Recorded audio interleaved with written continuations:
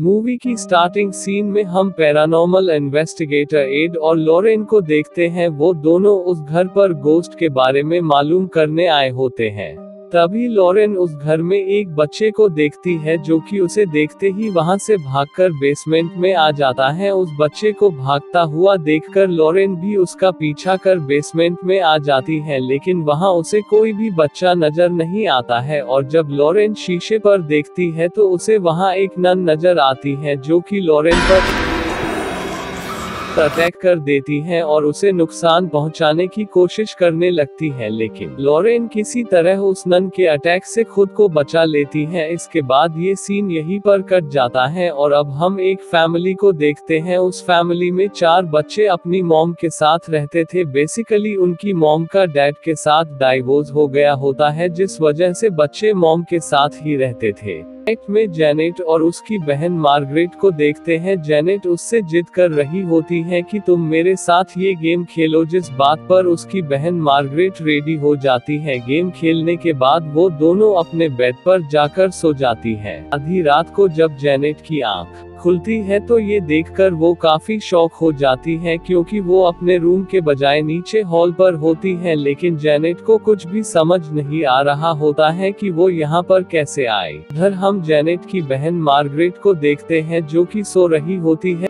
तभी उसके रूम में कोई ज़ोर से डोर को पीटने लगता है, जिस वजह से मार्गरेट की आँख खुल जाती है और जब वो चेक करने के लिए रूम से बाहर जाती है तो उसे वहाँ पर कोई भी नज़र नहीं आता है और तभी उस रूम में जेनेट इंटर होने लगती है, जिस वजह से मार्गरेट को ये यकीन हो जाता है कि डोर को नॉक जेनेट ने किया है। इसके बाद हम एड और लॉरेन को देखते हैं, जो कि एक शो पर आए होते हैं, वो रिपोर्टर उनकी काफ़ी इंसल्ट करता है और बताता है कि ये दोनों सिर्फ़ पब्लिसिटी के लिए गोस्ट को हंट करने का ड्रामा करते हैं। इन दोनों ने आज तक कोई भी ऐसा केस सॉल्व किया ही नहीं है, जिस बात को सुनकर उन दोनों को काफ़ी बुरा लगता है और यही पर वो शो बंद हो जाता है। इधर सीन वापस से उस फैमिली की तरफ़ शिफ्ट हो जाता है। हम एक बच्चे को देखते हैं जो कि जेनेट और मार्करेट का भाई होता है। वो बच्चा किचन में पानी पानी पीने आया होता है, तभी उसकी नज़र बाहर झूले पर पड़ती है, जो कि खुद ब खुद ही मुँह कर रहा होता है।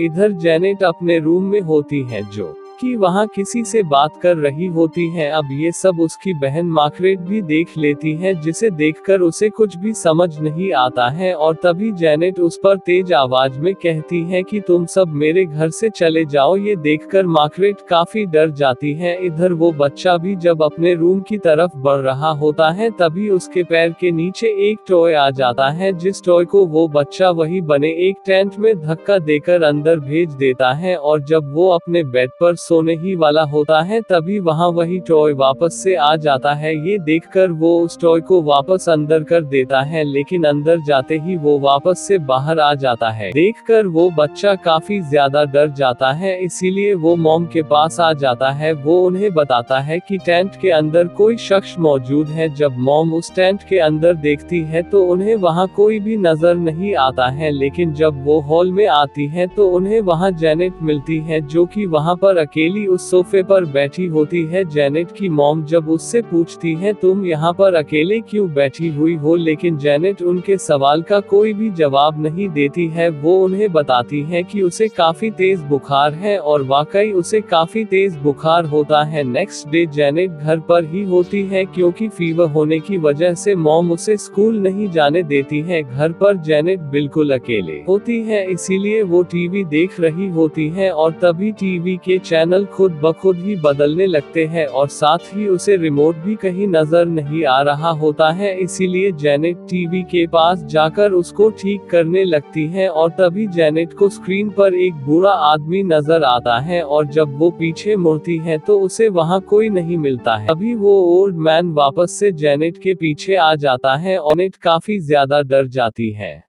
पर हम एड को देखते हैं जो कि एक पेंटिंग को बना रहे होते हैं। जब लॉरेन उस पेंटिंग को देखती है तो ये देखकर वो काफ़ी ज़्यादा डर जाती है क्योंकि उस पेंटिंग में वही नन मौजूद होती है जिसने लॉरेन को बुरी तरह डरा दिया होता है। इधर नाइट में हम जेनेट को देखते हैं जो कि एक रोप से खुद को बेड पर बाँध देती है ताकि वो सोते वक्त अपने रूम से कहीं और न चली जाए। नाइट में जब जेनेट सो रही होती है, तभी कोई उसे धक्का देकर नीचे गिरा देता है। है जिस वजह से जेनेट की आँख खुल जाती है, तभी जेनेट को नीचे हॉल में किसी के मौजूद होने का एहसास होता है और जब वो नीचे चेक करने जाती है तो उसे वो सोफा दिखाई देता है जो कि खुद ब खुद ही मूव कर रहा होता है। अब ये देखकर जेनेट काफ़ी ज़्यादा डर जाती है, जिस वजह से वो वापस अपने रूम में आ जाती है, लेकिन तभी जेनेट के रूम का डोर खुद ब खुद ही खुल जाता है, जिस वजह से जेनेट काफ़ी ज़्यादा डर जाती है और वो हेल्प के लिए आवाज़ लगाने लगती है, जिस वजह से उसकी बहन मार्गरेट भी जाग जाती है और तभी उन दोनों के बेड कोई जोरों के साथ मूव करने लगता है, जिस वजह से वो दोनों काफ़ी ज़्यादा घबरा जाती है और वो भागकर अपने मॉम के पास आ जाती है। जेनेट और मार्गरेट अपनी मॉम को सब कुछ बताने लगती है, लेकिन उनकी मॉम को उन दोनों की बात पर बिल्कुल भी यकीन नहीं आ रहा। होता है जिस वजह से वो चेक करने के लिए रूम में जाती है। इसके साथ ही जेनेट और मार्गरेट भी रूम में एंटर हो जाते हैं और रखा एक टेबल अपने आप ही मूव होकर डोर को बंद कर देता है, जिस वजह से ये तीनों काफ़ी ज़्यादा डर जाते हैं और वो अपने घर को लीव यानी छोड़कर अपने नेबर्स के घर पर आ जाते हैं और साथ ही वो इसके बारे में पुलिस को भी राबता यानी इन्फॉर्म कर देते हैं। पुलिस जब उनके घर को चेक कर रही होती है, तभी एक चेयर मूव होकर उन उनके सामने आ जाती है। अब ये देखकर वो पुलिस ऑफिसर भी समझ जाते हैं कि ये कोई आम केस नहीं है और न ही वो इसे सॉल्व कर सकते हैं। इस वजह से पुलिस उनको बताती है कि ये केस पैरानोमल इन्वेस्टिगेटर ही सॉल्व कर सकते हैं। इसीलिए तुम्हारे लिए ये बेहतर होगा कि पुलिस से मदद मांगने की बजाय तुम पैरानोमल इन्वेस्टिगेटर पास जाओ। किधर हम लॉरेन को देखते हैं जो कि अपनी बेटी के साथ घर पर होती है, तभी लॉरेन को एक ड्रीम यानी एक बुरा ख्वाब आता है जिसमें वो उसी नन को देखती है जिसकी पेंटिंग एड ने बनाई होती है। वो नन लॉरेन को काफ़ी बुरी तरह डरा देती है।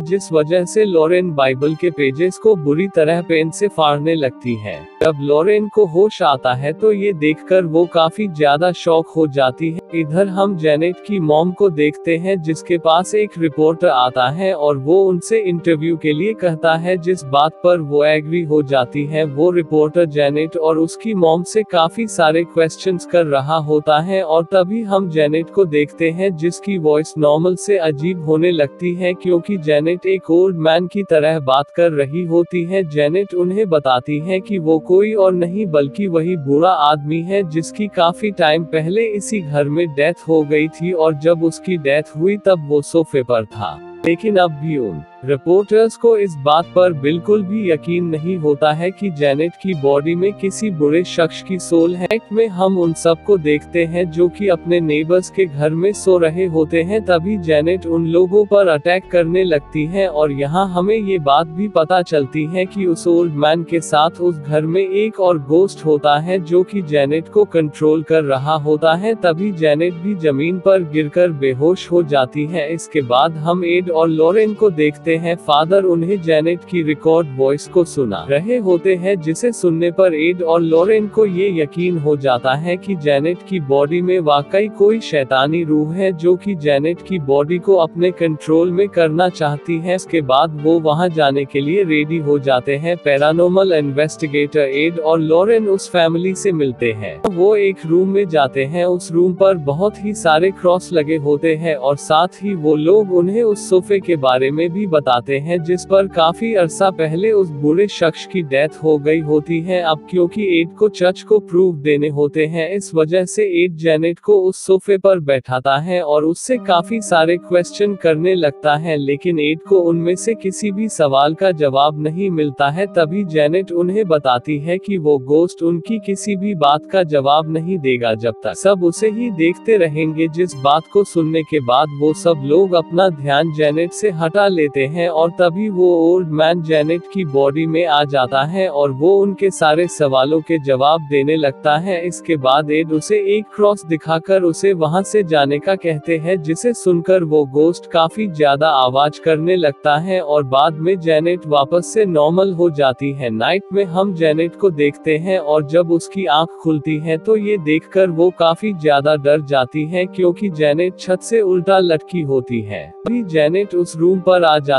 है जहाँ पर बहुत सारे क्रॉस लगे होते हैं और साथ ही वहाँ वो बूढ़ा आदमी भी आ जाता है जिसे लॉरेन के साथ बाकी लोग भी वहाँ आ जाते हैं और वो जेनेट को बचा लेते हैं। एड और लॉरेन को भी ये एहसास हो गया होता है कि इस घर में इनके अलावा भी कोई मौजूद है, लेकिन ये साबित करने के लिए इनके पास कोई भी प्रूफ नहीं होता है। इसीलिए वो प्रूफ करने के लिए उस घर में हर जगह कैमरास को लगा देते हैं। इधर हम एड को देखते हैं जो कि वॉशिंग मशीन को सही कर रहा होता है, तभी एड के पीछे जेनेट की मॉम को किसी के होने का एहसास होता है। इसीलिए वो इसके बारे में एड को बताती है, लेकिन एड जब पीछे मुड़ता है तो उसे वहाँ कोई भी नज़र नहीं आता है। तभी जेनेट की मॉम पर वो गोस्ट अटैक कर देता है। इधर हम जेनेट को देखते हैं जो कि किचन में जाती है और तभी उस पर गोस्ट हावी हो जाता है, जिसे देखकर वो बच्चे शाउट करने लगते हैं। जिस आवाज़ को सुनकर वहाँ एड भी आ जाते हैं, लेकिन जल्द ही वो डोर लॉक हो जाता है। किचन में आ जाते हैं, जहाँ उन्हें जेनेट मिलती है जिस पर शैतान ने पूरी तरह से उस पर कब्जा कर उसे अपने कंट्रोल में कर लिया होता है। लेकिन तभी वहाँ वही रिपोर्टर आ जाती है जो कि उन्हें एक वीडियो दिखाती है और साथ ही वो ये भी कहती है कि जेनेट ड्रामा कर रही है। और इस नाटक में उसकी मॉम भी उसका साथ दे रही है। अब ये सुनकर एड और लॉरेन को भी वहाँ से जाना पड़ता है, लेकिन एड और लॉरेन को अभी भी ये यकीन नहीं आ रहा होता है कि जेनेट ये सब नाटक कर रही है। तभी लॉरेन को एक ख्वाब आता है जिसमें वो उसी ओल्ड मैन से मिलती है जिसकी उस घर में डेथ हो गई होती है। वो ओल्ड मैन उसे बताता है कि मेरी मौत के बाद मैं यहाँ से जाना चाहता था, लेकिन उस नन के चलते मैं यहाँ से नहीं जा सकता था। ओल्ड मैन उसे बताता है कि जेनेट पर जिस गोस्ट ने अटैक किया और जो उस बच्ची को अपने कब्जे में करना चाहता है, वो कोई और नहीं बल्कि वही नन है और तभी वहाँ वो नन आ जाती है, जिस वजह से लॉरेन काफ़ी ज़्यादा डर जाती है और साथ ही वो ड्रीम से भी बाहर आ जाती है। लॉरेन की नाक से ब्लड आ रहा होता है। लॉरेन एड को बताती है कि जेनेट की बॉडी में कब्जा करने वाला शैतान कोई और नहीं बल्कि वही नन है, जिसका मुझे कई बार ख्वाब भी आ चुका है। लॉरेन एड को बताती है कि हमारे पास वक्त बहुत कम है, हमें उस बच्ची को बचाना होगा। इधर हम जेनेट को देखते हैं जिसकी बॉडी पर उस ईवल नन ने पूरी तरह से कब्जा कर लिया होता है। अभी वहाँ एड और लॉरेन आ जाते हैं अब क्योंकि सारे डोर लॉक होते हैं इस वजह से वो विंडो से जाने लगते हैं लेकिन तभी वो भी सोफे से लॉक हो जाती है तब एड एक पीछे के एक डोर से अंदर आ जाते हैं लेकिन तभी वो डोर लॉक हो जाता है। हम एड को देखते हैं जिसके पीछे किसी का हाथ दिखाई देता है। इधर लॉरेन अपनी बाइबल के साथ घर की तरफ़ बढ़ रही होती होती है तभी आसमान से बिजली उस ट्री पर गिरती है, जिस वजह से वो ट्री काफ़ी नुकीला हो जाता है। इधर हम एड को देखते हैं, जो कि जेनेट के रूम में आ गया होता है। वो देखता है कि जेनेट नीचे कूदने वाली है, लेकिन तभी एड उसे पकड़ लेता है, लेकिन उसका भी हाथ छूटने लगता है और तभी वहाँ लॉरेन आ जाती है उनकी हेल्प करने, लेकिन वो नन लॉरेन को अपनी पावर से दूर फेंक देती है। तभी लॉरेन उस नन से कहती है कि मैं तुम्हें ये हुक्म देती हूँ कि तुम महल में जाओ। अब लॉरेन के इतना कहते ही उस नन को वहाँ से जाना पड़ता है। लॉरेन उन दोनों को वापस ऊपर खींच लेती है। नेट भी अब ठीक हो गई होती है, इसीलिए वो एड और लॉरेन को उनकी मदद करने के लिए शुक्रिया अदा करती है और इसी के साथ ये मूवी यहीं पर एंड हो जाती है। Thank you so much for watching.